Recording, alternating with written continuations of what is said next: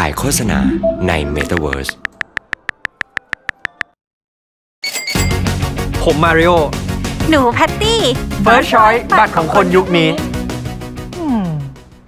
มันยังขาดอะไรไปหน่อยไหมป่านว่าก็ดีแล้วนะคะ สีแบรนด์ไง อืม ผมมาริโอ หนูแพตตี้ First Choice บัตรของคนยุคนี้ ป่านว่าเปลี่ยนกลับไปสีเดิมดีกว่านะคะ ยังไงคนก็มองแต่หน้าพรีเซนเตอร์อยู่แล้วอะมองแต่หน้าพรีเซนเตอร์ใช่ปะได้ ผมมาริโอ หนูแพตตี้ First Choice บัตรของคนยุคนี้ พอเราไม่ใช่ฝรั่งตาสีฟ้ามัน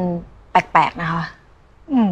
ปรึกษานะคะ ถ้าลองพูด First Choice ให้อินเตอร์หน่อย ก็อาจจะเข้ากับสีตานะคะผมมาริโอ หนูแพตตี้ First Choice บัตรของคนยุคนี้ อินเตอร์ละ แต่ยังไม่ hip ตัชไงตัชลูกชายพี่ชอบพูด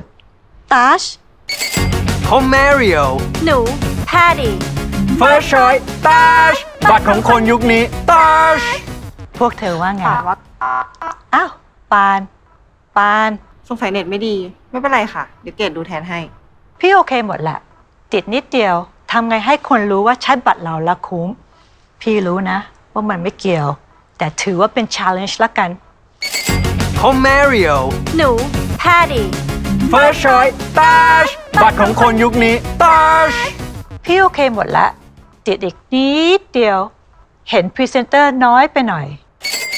ผมมาริโอหนูแพตตี้ First Choice ตัชบัตรของคนยุคนี้ตัชดีนะ รู้สึกเลยว่าเป็น metaverse ไหนๆก็เป็น Metaverse แล้วเราเปลี่ยนสถานที่ไปเรื่อยๆด้วยดีไหมคะอืมเอ้าคุณมาริโอไปไหนอะคุณแพตตี้เริ่มเปิดไมค์อะค่ะ พี่โอ log out ไปแล้วค่ะ ทำไงดีอะทีนี้ เอางี้ ให้คุณแพตตี้ใส่อวตารคุณมาริโอแล้วแสดงเป็นคุณมาริโอแทนได้ไหมคะหนูมาริโอ ผมมาริโอ First Choice ตัชบัตรของคนยุคนี้ตาชหรือว่าต้องเต้นด้วยไหมคะ โฆษณาใน Metaverse เต้นหรือแรปดียังไม่ approve